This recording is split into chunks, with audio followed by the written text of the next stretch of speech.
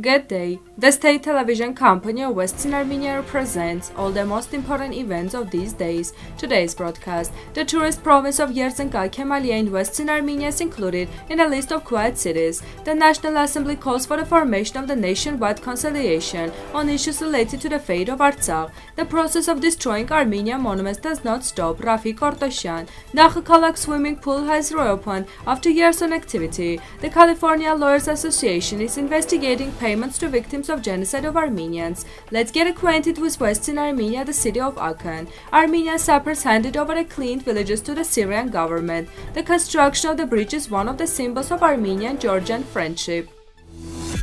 The tourist province of Kemaliye in Yerznka, which stands out for its historical and cultural values, has become the 21st settlement included in the network of Quiet City of Western Armenia. The name of the province was formerly Egi. In 1922, it became Kemaliye. It is located in the upper Euphrates basin on the historic Silk Road. The province, which has hosted many civilizations from the past to the present day and whose traditional architecture reflects the rich cultural heritage of Western Armenia, was included in the UNESCO World Heritage list on April 30, 2021.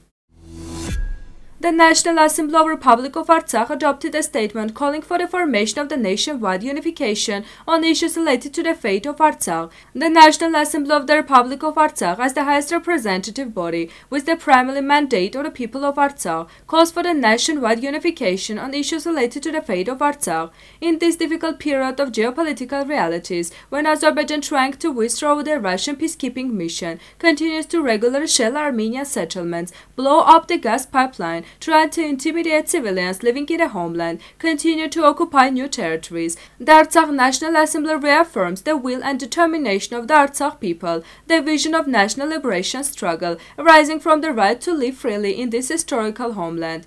Dear compatriots, the key to existence to Armenian statehood and the security of the Armenian people is in Artsakh. The statement reads.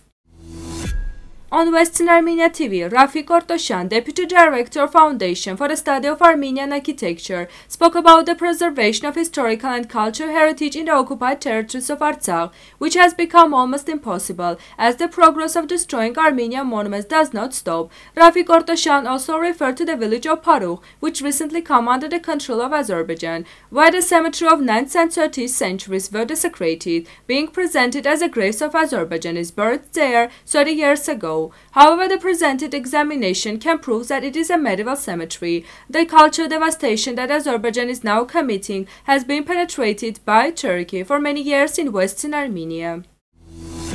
The pool of Akhalkalak has been opened and will work in 3-4 days as the water is now heated. The gym is already open and ready to receive visitors. According to the director of the pool, Martin Gabrielian, all the technical problems in the pool have been solved. The pool of Akhalkalak has been operating since 2012. Over the years, various problems have arisen here. Almost every year the pool did not work for several months. It started not working on August 1, 2018. The initial reason for the closure was that a cleanup has been turned into a severe problem. The Attorney General of the California Bar Association stated that the council took a fresh look at the behavior of lawyers in key cases of compensation to Armenians for genocide after an investigation conducted by the Times. The commission had previously punished one lawyer and tried to punish two more in connection with the genocide case. A terrible injustice was committed when the descendants of Armenians killed during the genocide were denied their legitimate claims, said George Cardona, chief legal advisor. According to the legend, after the destruction of Ani, some of its inhabitants come here and meeting a cold-blooded spring founded a new city called Agan. In 1300 to 1321, Armenians who immigrated here from Ani founded their own district with St. Hagop Church. In ancient times, Agan was part of the second Hag province of Lesser Armenia. In modern times, it's sometimes called Karin, sometimes Harbert, and sometimes Sebastia. At the beginning of 19th century, the Agan city was captured by the Turks. On September 3 to 4 in 1896, Turks attacked Agan and Kurds attacked the surrounding Armenian villages, killed residents, robbed and burned houses. In the next two decades, Armenians rebuilt the city and life in Akn revived again. In the massacre, the Akn and surrounding villages were devastated by Armenians, most of whom soon became victims of the migration pass. According to the date for 1929, only 41 Armenian residents remained in Akn city.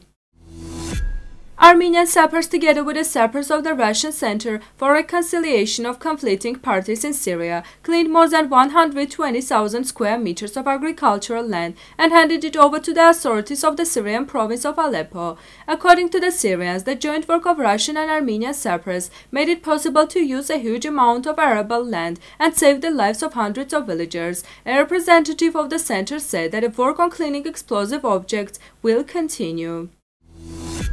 Gor Avedisyan, Executive Director of Road Department Foundation, and Levan Kupatashvili, Vice President of the Georgian Roads Department, monitored the construction of a new bridge at the Bagrat checkpoint of the Debed River. The bridge called Barekamutun is a joint Armenian-Georgian program founded by European Bank for Reconciliation and Development and the Government of Armenia and Georgia. Levon Kaputashvili, Vice President of the Georgian Roads Department, expressed hope that this construction will not be the only joint program program. Such projects will be continued in the future. Now musical part Armenian folk song.